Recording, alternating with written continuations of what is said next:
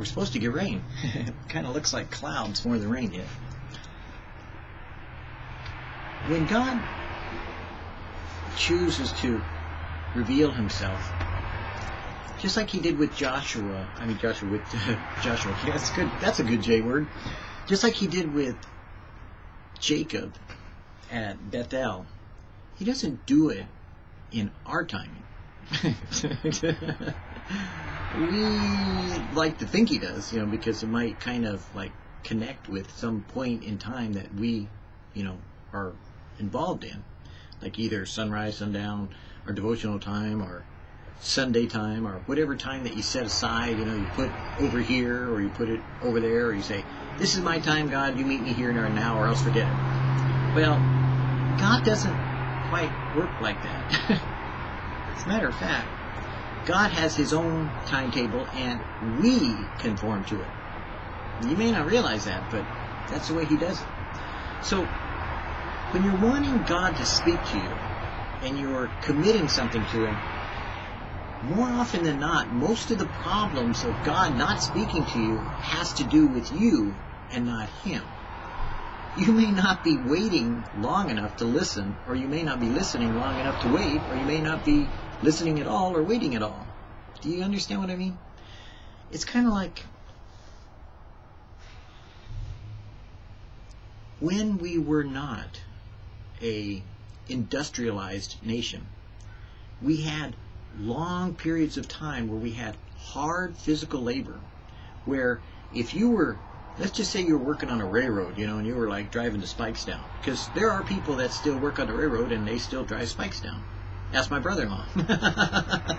he worked on the railroad all his life and uh, drove spikes down or was on the road gang for a while. You know, thank God he became a roadmaster. But the point being is that when you have hard physical labor, or like when I worked in the potato fields picking spuds, you have a lot of time to think. You know, there's only a certain amount of effort in thinking that's required to like work in the potato fields or maybe dry spikes in the ground. And after that you know it kind of becomes a routine. Or if you're working we'll say on a production line you know. After a while you know kind of like i remember working as a bottle inspector and i used to inspect wine bottles and pull them off the conveyor belts you know as they go by. You know and just kind of all you do is see a flash you know you just pull flashes. You didn't even bother really thinking about it. Just kind of pulled it about this kind of motion, you know, and it was just like the chute was stuck up here and the bottle was right here, so you just went. You wore green glasses, and it was kind of neat, you know, mindless, but you had a lot of time to think. Well, in agrarian societies, farmers especially, or other types of handmade environments, you have time to think. And when you have time to think, you have time to listen.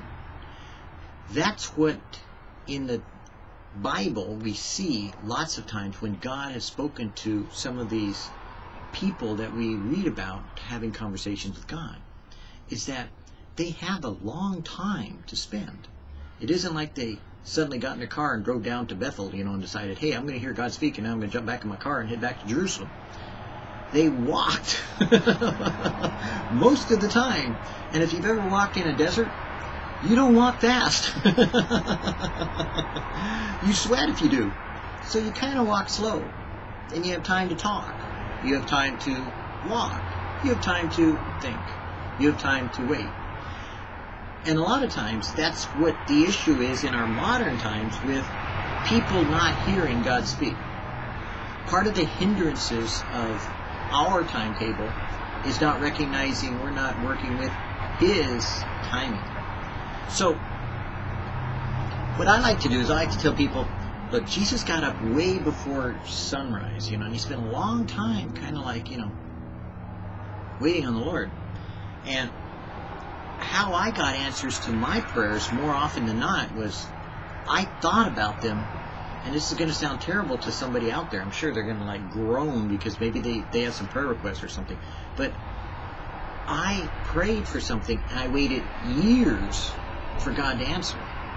And I got the answer. I always did. I've gotten answers to everything I've ever prayed for. And maybe sometimes I forgot some, I don't know. But mostly, you know, and anything that I ever asked about when it came to studying the scriptures, the same thing I did was that I asked God to reveal it to me, and He did. Sometimes it took a long period of time. Sometimes it took a year or more. Sometimes even longer. But the point of it being is that I was always looking for and waiting for the answer to come. So in my mind, I had it kind of like a checklist. You know, it's like, oh, hey, that's an an- that's the answer to the prayer. Oh, I remember that. I prayed that back, you know, 1950, whatever. Kidding, 60, 70, 80, something like that. But you too shouldn't be so wrapped up with the timing of God's answering as much as God does answer. He will. I promise you. I mean, not that I have anything to say about it because, frankly, my promises don't mean nothing. But His do. And He said He hears your prayer. He will answer. And that's one reassurance that you should take with you whenever you do talk to God is that you have a full confidence knowing that He hears your prayer. Now, His timing may not be the same as yours when it comes to answering. So you have to sometimes, well, if I could give you a hint, write it down. Put a date on it. Write it down and wait till the answer comes, you know? And then once you get, you know, a book full of, you know, prayers written down and the answers written next to them, you'll get to where your mind will automatically remember that you prayed and God answered, you know? And then you won't worry about it. Because it's pretty easy that God always will come through. I have no problem with that. I can tell you that every time. Hey, He came through. It may not have been the way I thought, but it was like, wow, that's cool. That's a new way. I never thought of that, God. That's kind of neat the way you did it. So, today in this devotional I'm reading is received by faith because it also applies to me today as I'm waiting on an answer from the Lord. Lord, please answer today. See, I'm like you, you know. And when He doesn't, I just go, okay, it'll be tomorrow. So, on the one hand, on the surface issues of my life, yeah, you know, sometimes I get a little, eh, you know, my, my flesh goes, yes, I want an answer now. But then other times it's more like, okay, you know, so he didn't answer now. He'll, he'll get through. He gets through to me. I always get my answers. I know he'll tell me, just not yet. Received by faith. I pray if I have found favor in your sight, show me now your way that I may know you and that I may find favor in your sight. And the Lord said, My presence shall go with you, and I will give you rest. Exodus 33, 13, 14. That's kind of what we're praying for, like right now, kind of moving and stuff, you know, as we're looking forward to rest. You know, a good place to call our Bethel, you know, our place of the house of God. You know, we can just rest, be still, wait on the Lord. Everything that we receive from God comes by faith. When you are waiting for Him to speak to your heart, just believe that He will speak to you, and even if you don't hear anything right at that moment, He will. Believe that because you have acknowledged Him, you can expect to see His hand moving in your life all day long. Then step forward knowing that He will keep you on the right path because you have asked Him to do so. Watching God's hand of favor move on your behalf is one of life's greatest delights.